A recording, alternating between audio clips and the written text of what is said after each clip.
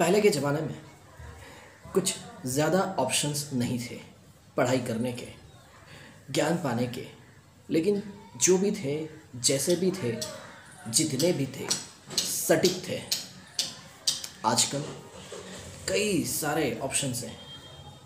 Videos PDFs books guides papers applications दुनिया भर के ऑप्शंस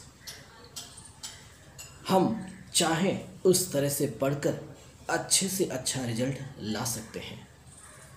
लेकिन फिर भी इसके बावजूद भी हम सही सलीके से, ढंग से पढ़ाई नहीं करते, कर नहीं पाते हैं और अच्छा रिज़ल्ट नहीं आता है।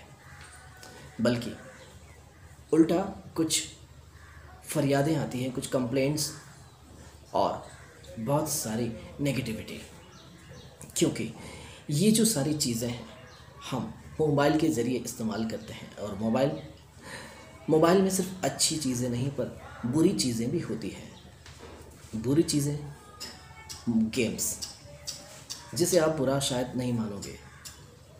लेकिन फिर भी बुरी होती है क्योंकि ये जो है गेम खेलने की जो लत है, एक बार अगर आपको लग गई, फिर आप मोबाइल को रखते नहीं हो।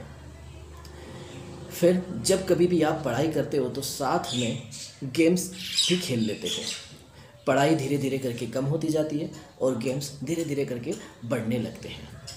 मोबाइल का हद से ज़्यादा इस्तेमाल आँखों को भी तकलीफ़ पहुँचाता है क्योंकि हम सही ढंग से मोबाइल को पकड़ते नहीं हैं यूज़ नहीं करते हैं, आँखों के करीब रखते हैं तो फ़ायदे के बदले नुकसान ही हो जाता है।